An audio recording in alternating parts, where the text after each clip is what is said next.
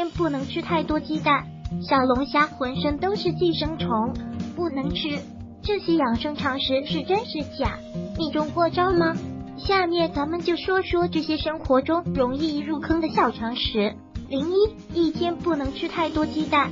很多人都认为一天只能吃一个鸡蛋，吃多了也不能吸收，认为蛋黄中含有比较多的胆固醇，过多摄入胆固醇和饱和脂肪会增加心血管疾病的发生风险。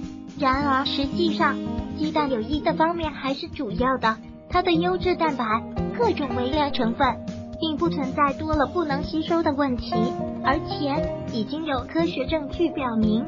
心血管疾病其实和胆固醇并没有多大关系，所以与其担心吃多了鸡蛋对身体不好，还不如担心母鸡来不及下蛋呢。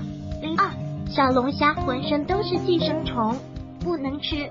有传言说小龙虾浑身都是寄生虫，不能吃。吓得我赶紧吃了两个小龙虾压压惊。目前市面上我们吃到的小龙虾大多来自人工养殖，相比野生小龙虾已经干净很多了。即便是这样，仍旧免不了受到被吸虫这类寄生虫的感染，但并没有到不能吃的地步。只要牢记：一千万不要生吃，不要食用未煮熟的小龙虾；二不要吃死掉的和肉质糜烂的龙虾。三虾先要处理干净，四龙虾要先油炸，再用沸水连续高温熬煮至少十分钟。第三，吃豆腐会让男人变娘，女人换妈，这完全是不可能的。豆腐中的雌激素，也就是大豆异黄酮，它是种植物雌激素。对于人类有着微弱的效果，微弱程度大概是人体雌激素的一百分之一、一千分之一。它是帮助人体雌激素稳定的调节器，体内雌激素水平不足时，它能稍微弥补一下；过高时，它会稍微抑制一下。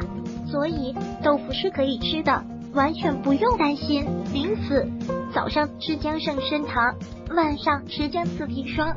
这句谣言很多长辈深信不疑，但其实无论早中晚，生姜还是那个生姜，营养成分怎么会发生变化呢？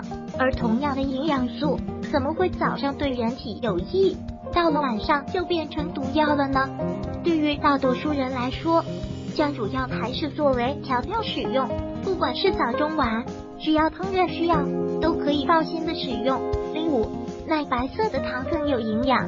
其实并非如此，之所以汤能变成奶白色，是因为多了脂肪，汤中的蛋白质包在了脂肪粒外边，均匀的分布在水中，这在生物化学上称为乳化，由此发生了光的散射，这样的汤看上去就有了奶白色的视觉效果。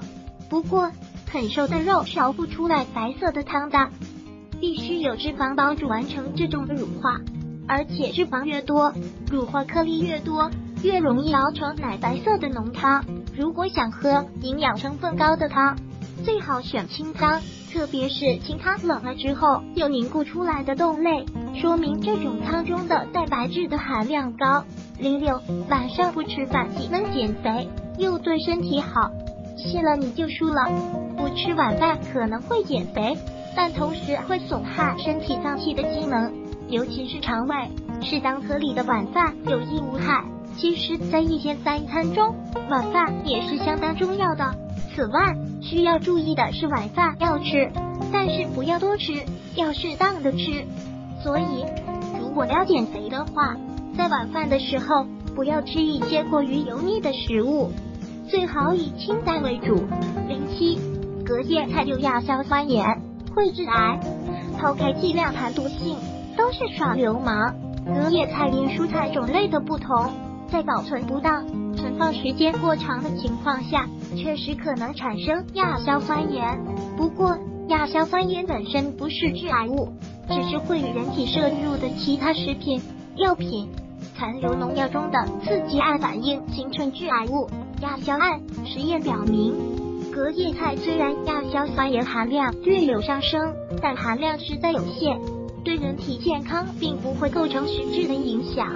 不过，隔夜菜还是要少吃，因为它的营养损失很大。零八，白皮鸡蛋更有营养。网上有传言称是为饲料的鸡生出来的蛋，但事实并非如此。蛋壳的颜色来自于鸡蛋在母鸡生殖到那个最后一个加工过程。子宫上皮分泌的色素均匀涂抹在白底的蛋壳上，具体分泌什么色素，首先取决于母鸡的基因型，并不能确定它是散养、放养的土鸡所生，还是规模化饲料饲养的商品鸡所生。而且在蛋壳颜色形成前，蛋里面的物质就形成了，所以蛋壳的颜色并不会直接影响鸡蛋的营养成分。如果喜欢本视频，请分享并订阅本频道。